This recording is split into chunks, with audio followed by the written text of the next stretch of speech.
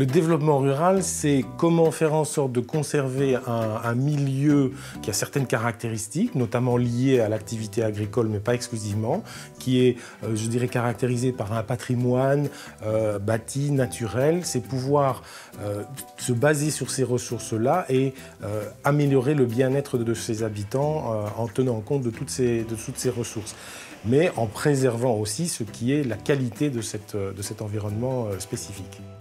Une multitude d'acteurs sont actifs dans le domaine du développement rural. Il y a des agriculteurs et des forestiers, des maisons de tourisme, des associations environnementales ou économiques, ainsi que des entreprises et des communes rurales. Tous ces intervenants sont réunis en un réseau qui s'appelle en toute logique le réseau wallon de développement rural. C'est une plateforme euh, d'échange, d'expériences d'une trentaine, euh, d'abord d'une trentaine d'organisations professionnelles, que ce soit agricoles, que ce soit euh, de développement économique, que ce soit au niveau du tourisme. Mais c'est bien plus large que ça.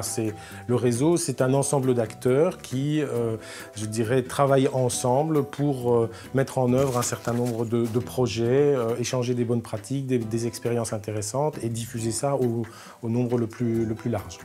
Pour travailler efficacement avec une trentaine d'acteurs d'horizons aussi différents, il faut évidemment un animateur. Ce rôle, c'est à la société Tram que la Wallonie l'a confié. Tram s'occupe de rassembler les différents membres du réseau, elle organise des ateliers, des visites de terrain et des séminaires, elle les encourage aussi à échanger leurs expériences et elle communique vers l'extérieur. Tram est également un centre de ressources pour le simple citoyen. On est vraiment un centre de ressources, c'est-à-dire qu'au travers euh, de notre site web, mais en nous contactant aussi directement, eh bien, il peut avoir accès à de l'information qui euh, est susceptible de répondre à ces questions, ces interrogations.